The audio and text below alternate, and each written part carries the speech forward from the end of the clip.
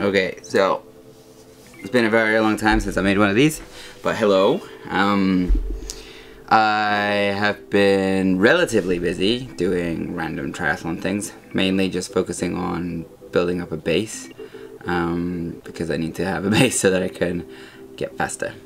Um, so from now on, I should be doing a few more uh, videos, hopefully every other week or at least every week and maybe every other day but we'll see. It depends how interesting I can make them and how much music I can find on the internet.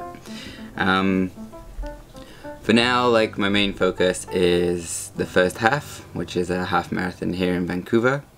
Um, it's gonna be not my favorite half I feel. Um, it's a very flat course um, which is good for some people, but then not so good for others. And I feel like I'm more of a hill runner so that I can recover on the hills going up and then run hard on and get some speed back on the down. But um, we'll see how that goes.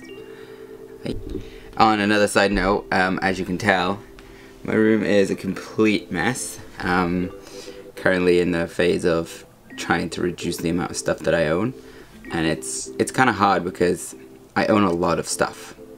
And anyone who knows me can of to this. Um, if there is a sport or a piece of gear that I need or I would like to own I now own it. So that's why my gear closet to the other side is like completely stocked up.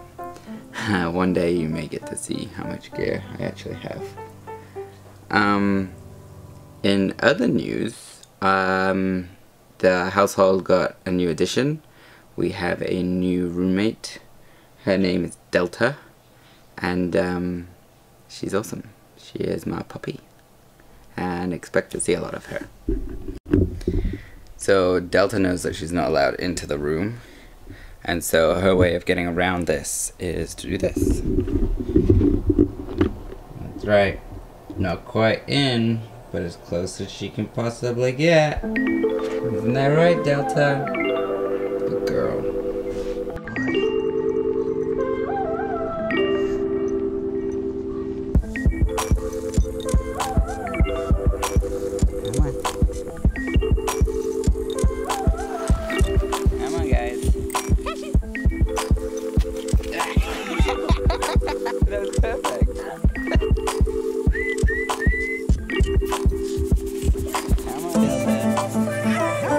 lap on our way to?